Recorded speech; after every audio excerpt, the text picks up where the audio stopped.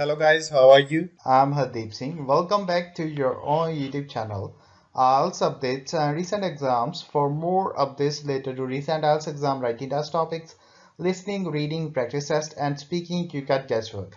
Please guys participate in everyday listening and reading practice test to achieve your desired band score in your actual IELTS exam.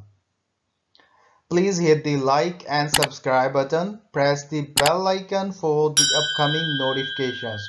Don't forget like, subscribe and share my YouTube channel and my Facebook page, IELTS updates and recent exams. Part 1. You will hear a conversation between a cashier in a bank and a customer. The customer is asking for advice about traveller's checks. First, you have some time to look at questions 1 to 3.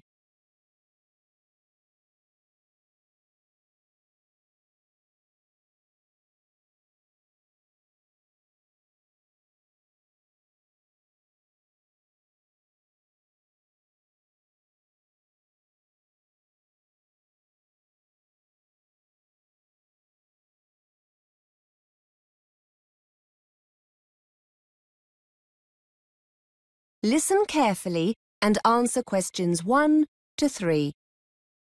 Good morning. How can I help you? Yes, hello. I'm going away on holiday next month and I was wondering if you could give me some advice about traveller's checks. Yes, of course. Where are you off to? Anywhere nice? To France, to Paris for a week. Oh, lovely. So how many checks would you like to order? Well, before I do, are they the best option, traveller's checks? Well, they're certainly safer than taking cash. If they get lost or stolen, they can be replaced, usually within 24 hours. It's a good idea to have a small amount of cash, though, for snacks and taxis, that sort of thing. Yes, that's what I was thinking. What about my credit card? Are there any charges for using it abroad? No, it's debit cards that get charged for ATM withdrawals, not credit cards. And remember, anything you buy with the card might be covered by insurance. So if something you buy turns out to be faulty or Before you hear more of the conversation, you have some time to look at questions 4 to 10.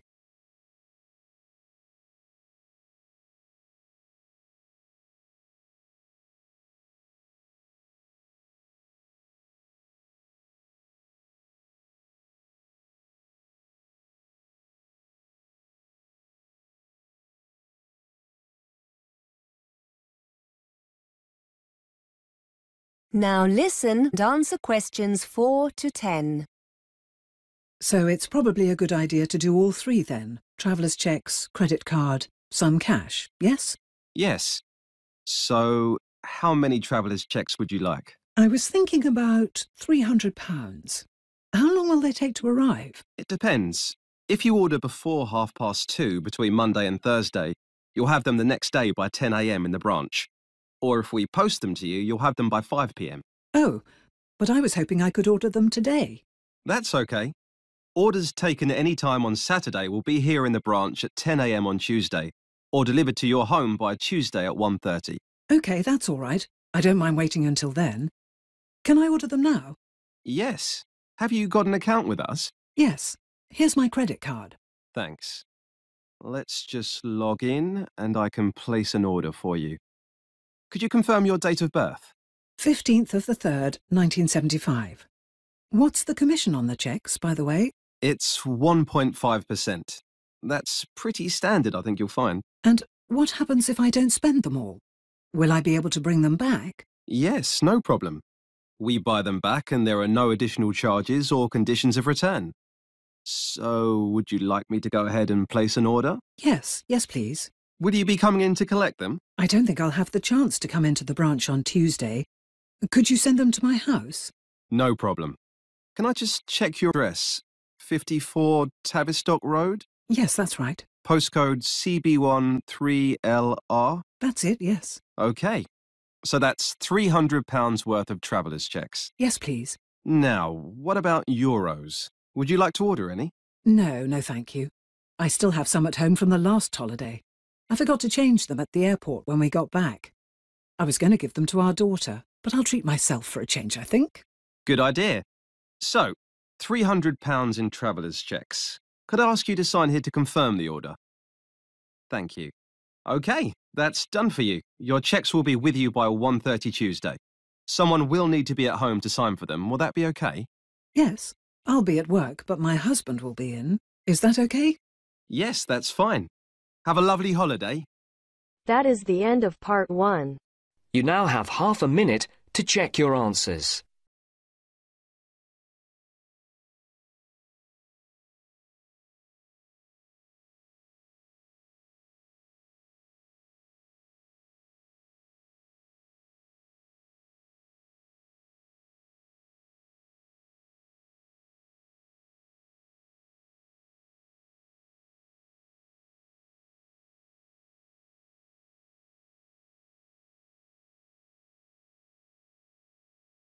Now turns to part two.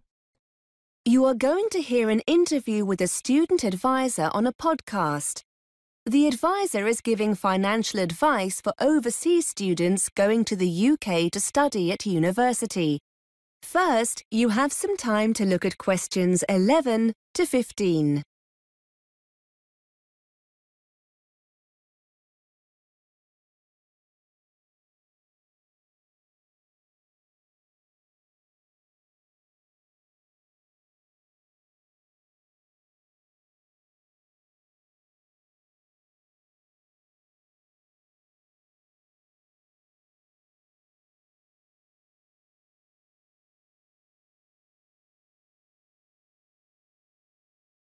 Now listen and answer questions 11 to 15. Welcome to our monthly podcast for overseas students planning to study in the UK. This month, we're looking at how to make your money last longer while studying here. And to help us find some bargains, I have Jenny Lubeck from the Student Union. Jenny, students are renowned for being hard up, but there are lots of savings to be made, aren't there? Well, as soon as students start their course at university or college, they'll be able to buy their NUS Extra card. This will enable them to get a wide range of discounts on essentials like books, clothes, and eating out. The card only costs about £12 for one year, and for about the same amount, you can include an ISIC card. The ISIC is an internationally recognised discount card for full time students. Discount offerings vary and usually include things like travel, guidebooks, music, eating out, that kind of thing. Students are told all about this when they start their studies, but if your listeners want to find out more about these cards before they arrive, I've put some details of websites on the podcast page. Now, travel costs can mount up for students, can't they? I know the ISIC card is useful here, but are there any other things students should be aware of? Understandably, lots of overseas students like to take the opportunity to travel around the country whilst they're in the UK. And for this reason, I'd strongly recommend they invest in a young person's rail card. To be eligible, you need to be between 16 and 25. Mature students over the age of 25 can also apply, so long as they're in full time education. You can buy a one year or three year card and it gives you a third off rail journeys across the UK. The card also gives you access to competitions and things like theatre discounts and holiday offers. At the moment, a one year card costs £28 and it's £65 for a three year card. Before you hear more of the interview, you have some time to look at questions 6 to 20.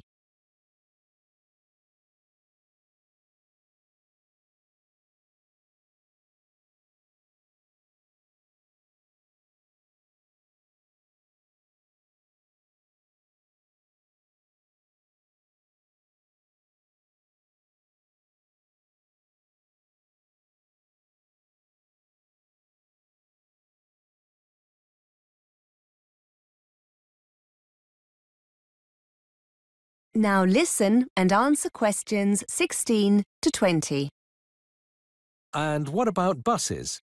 Um, well, as well as the rail card, it's also more than likely the local bus operators will offer discounted bus travel with their own travel cards.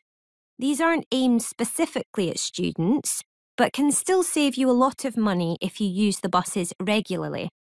You can usually get these cards for a week, a month, a term, or a whole year, with bigger savings the longer the period.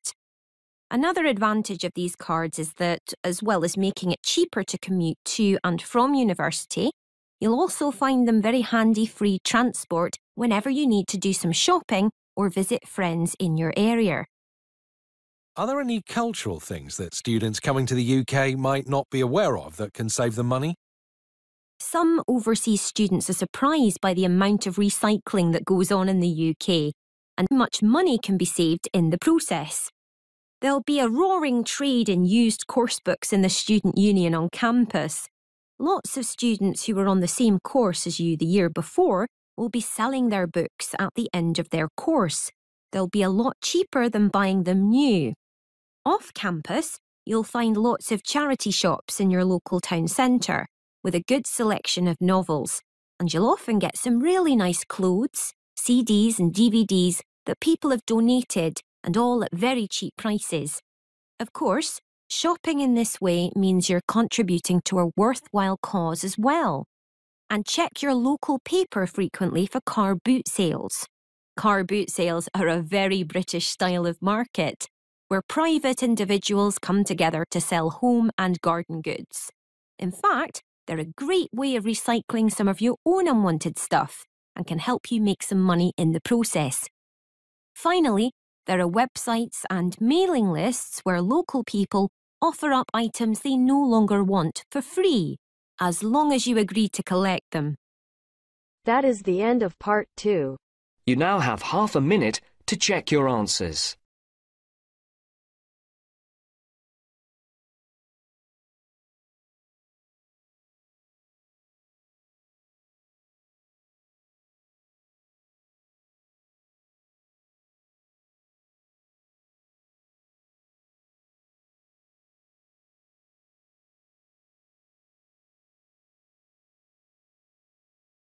Now turns to part three.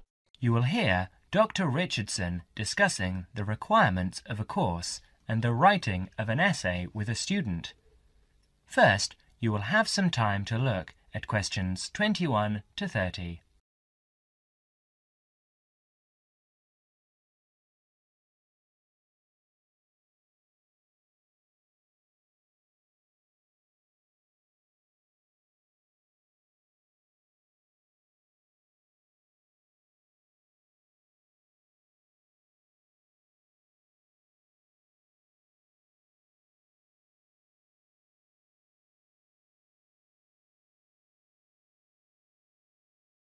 Now listen carefully and answer questions 21 to 28.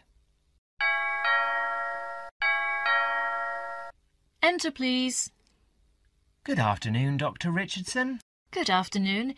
You're David Simons, is that right? Yes, I've got an appointment to talk about the course requirements with you. Fine. Now, why don't you take a seat over there and I'll just get some details from you. First, can I have your home address and your student number? That's 15 Market Avenue, Hornsby, and my student number is C97H85. OK. Now, I see here that you've already completed 18 credit points, but that you haven't done the Screen Studies course, which is normally a prerequisite for this course. Why is that, David? Oh, the course coordinator gave me an exemption because I've worked for a couple of years in the movie and television business, and they considered my practical experience fulfilled the same requirements. Fine. Shall we go over the course requirements first, and then you can bring up any queries or problems you might have? It might be most useful to start with a few dates. The final examination will be in the last week of June. That's the week of the 23rd but the final date hasn't been set. It should be the 25th or the 20th, but you don't have to worry about that yet. Before that, as you can see in your study guide, there are three essay assignments and some set exercises. I'll deal with these first. These set exercises are concerned with defining concepts and key terms. They do have fixed answers, not in the wording, but in the content. To that extent, they're quite mechanical, and provide an opportunity for you to do very well as long as your answers are very specific and clear. Yes, I see there are about 20 terms here. How long should the answers be? You shouldn't exceed 250 words for each term. Right, that looks easy enough. And the third assignment seems fairly straightforward too. Just a journalistic type review of a recent development in television. It's not so different from what I've done in my work. Yes, it should be fairly easy for you, but don't exceed 1,000 words on that one. Essays 1 and 2 are the long ones.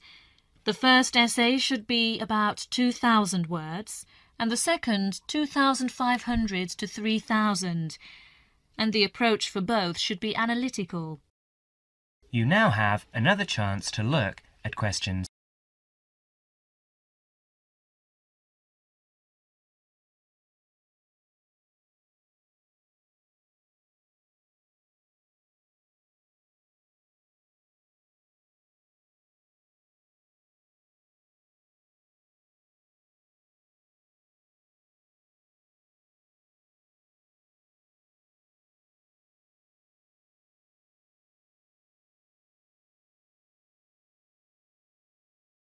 In the first one, your focus should be on TV and the audience, and you should primarily consider the theoretical issues, particularly in relation to trying to understand audience studies. In the second, I'll want you to focus on analysing television programmes. Should I concentrate on one particular type of programme for that?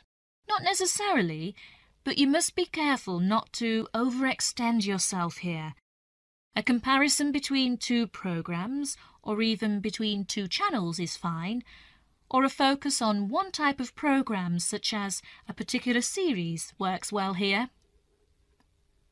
So if I wanted to look at television news programs, that would be okay? Yes, there would be no problem with that. In fact, it's quite a popular choice, and most students handle it very well. Good. I'll probably do that because it's the area I want to work in later.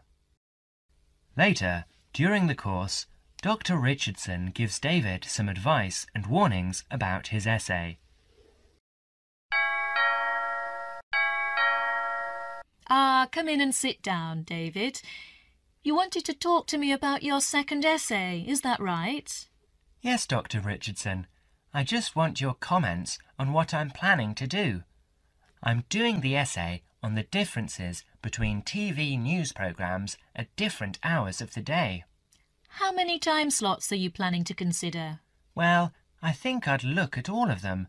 That'd be five slots. The breakfast news, the mid-morning news and the midday news. That's three.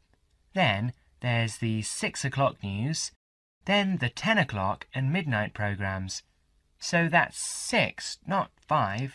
Hmm, that's rather a lot and you'd have a lot of different audiences to consider. Why don't you just do two, say the mid-morning and then six o'clock? That should give you two fairly contrasting approaches with two main audience compositions. Oh, just two then? Yes, I think that'd be much better. Now, how many actual programs do you plan to work with? I suppose you think analysing a whole week of news programmes would be too many. Well, that depends on how much of each programme. If you concentrate on one particular type of news item, say the sports news or local items, it might be all right. Yes, I can see that would be a good idea. I won't make a decision now before I collect a sample of programmes over a whole week. I'll look at them and see what items appear throughout the week. Yes, that's a sound approach. Now, we're getting close to the deadline. Can you finish it in time? Yes, I think so. I've completed the reading and I know what my basic approach is, so it's really just a matter of pulling it all together now. Fine, David. I'll look forward to reading it. That is the end of part three. You now have half a minute to check your answers.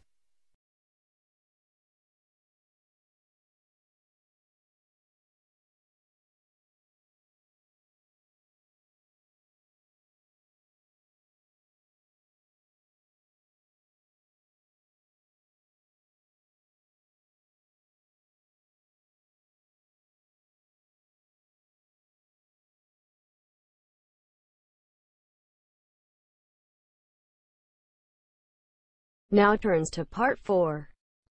You will hear an extract from a student's presentation about computer viruses. First, you will have some time to look at questions 31 to 40.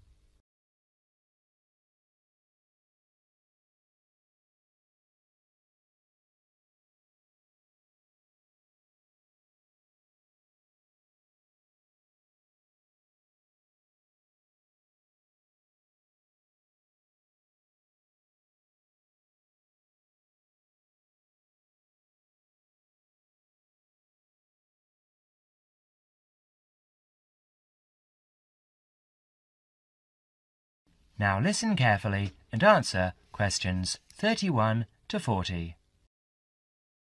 Well, good afternoon. Last week we were looking at the positive effects that computers have had on our society. This week we'll talk about one of the negatives computer viruses. In today's session, John Upton will be sharing some of the findings of his research project. So, over to you, John. Thanks. Mr. Yardley asked me to talk to you about the project I did from last term. Actually, it's really very rewarding to do this research project about computer viruses. Okay, so what is a computer virus? Well, it is a software program that has been designed, tested, and released by a human programmer with the single intention of corrupting and destroying useful programs. Put in simple terms, it's a way of causing lots of trouble for ordinary people just to be a nuisance. It's known as a virus because, although it's not a biological organism, it functions in a similar way, in that it seeks out a host, that is, a body in which to live and multiply, your computer, with the end result of destroying that host. Let's go back 50 years. In 1949, in the early days of computer technology, John von Neumann presented the first model of a computer virus program in his paper Theory and Organization of Complicated Automata. Soon after this paper was published, we find reference to a game known as Core Wars. Core Wars was initially created for intellectual entertainment by three Americans working on large mainframe computers. Remember, in those days computers were the size of a couple of rooms. By the 1980s, for the small sum of $2 postage, anyone could get details on how to play Core Wars, and very soon after, we see the emergence of a new pastime, one where people spent time creating programs that could escape the game and destroy other programs. In this way, the first computer viruses were born. Like their biological counterparts, computer viruses are picked up through casual habits. Virus programs are often intentionally placed within useful programs in the public domain, or they're included in software which is not official. That is software you might have acquired on the black market, which, of course, you don't do. It seems quite hard to believe that anyone would go to this level of deceit to intentionally corrupt the data of others, but the rise in the number of computer software infections and the amount of lost data that we are seeing these days is proof that these virus programmers are going to extremes to do just that. They are going out of their way to create programs that hide inside legitimate software applications and cause all sorts of errors that the average end user will then mistake for hardware failure. In other words, they will think that the problem lies with their own computer. So, what can we do to combat these people? Well, the first thing is to realize that virus programmers succeed because people are not always careful about where they get their programs from. So, number one, be very careful. And I don't just mean that you should be careful about the source of your software. You also need to take care with emails and avoid any messages which are suspicious looking. For instance, a message that says, I love you, or win $50. So, The second golden rule is avoid trouble. Now, there are other things we can do to protect ourselves. We can try to find out exactly how the viruses work, how they accomplish their aims. In other words, we need to understand them. And, of course, there is a good selection of antivirus software available on the market now, as well as on the internet, to combat the virus plague. So another way of protecting ourselves and our computers is to be well prepared. And, before I leave you, let me just say that if you ever run into one of those virus guys, tell them what you think of them. That is the end of part 4. You now have half a minute to check your answers. So guys, don't forget like, subscribe and share my YouTube channel and my Facebook page.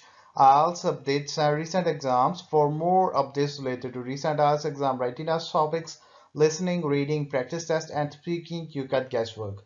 Please guys participate in everyday new IELTS listening and reading practice tests to achieve your desired band score in your actual IELTS exam. For more IELTS material, visit my official website www.ieltsupdatesandrecentexams.com. The link is given below in the description. If you need PDF files of latest IELTS material, then please join my Telegram channel. So guys, please write your score below the comment section. Again, thanks for listening. God bless you all guys. Stay tuned, stay safe.